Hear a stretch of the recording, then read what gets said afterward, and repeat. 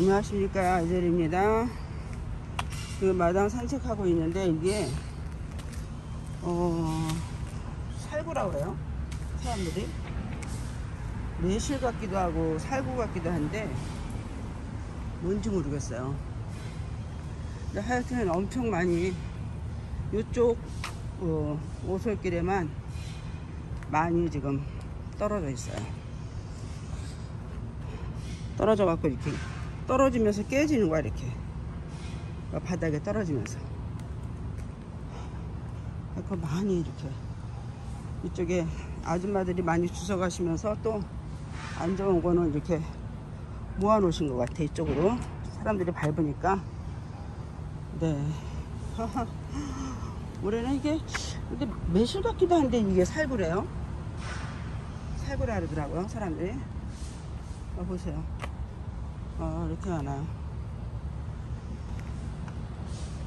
잔뜩 주워 가시더라고 한 바구니씩. 저는 가져다가 뭐 할 게 없습니다.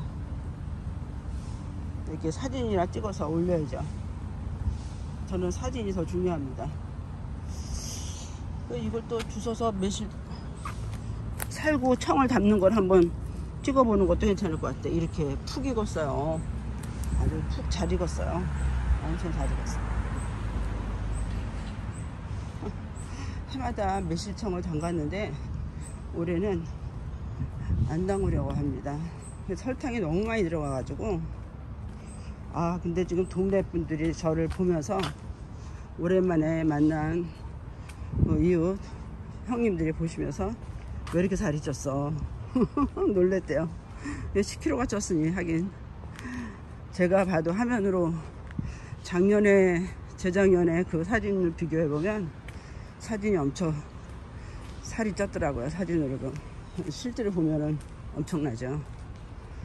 지금 오늘 조금 좀 많이 걸으려고 하는데 모르겠습니다. 많이 걸을 수 있을지.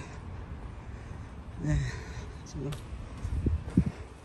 아파트 라운을 지금 반경 삼아서 걷고 있습니다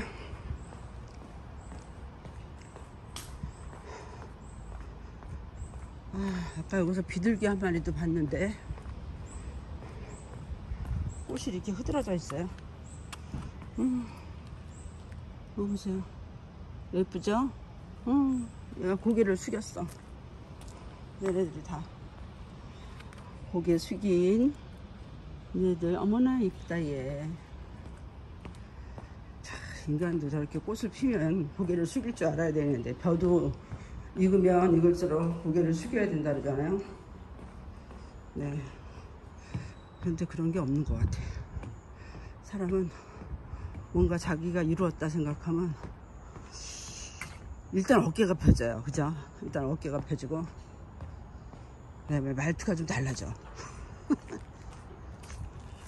아, 그냥 점잖게 얘기하죠. 그렇습니다.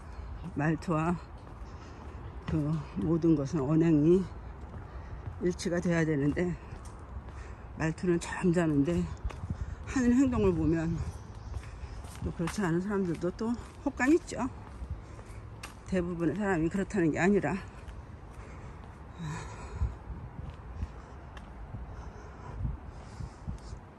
내일은 또 비가 많이 온다 그래요. 오늘은 지금 비가 올 생각을 안 합니다.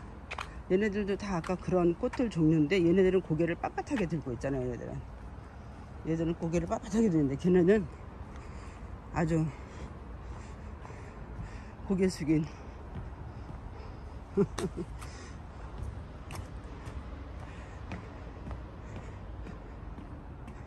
그야말로 모든 생물도 동물도 우리 인생과 비슷합니다. 사람 살아가는 것과 그렇죠? 네 오늘도 여기까지 한번 또 영상을 찍어 보겠습니다. 감사합니다.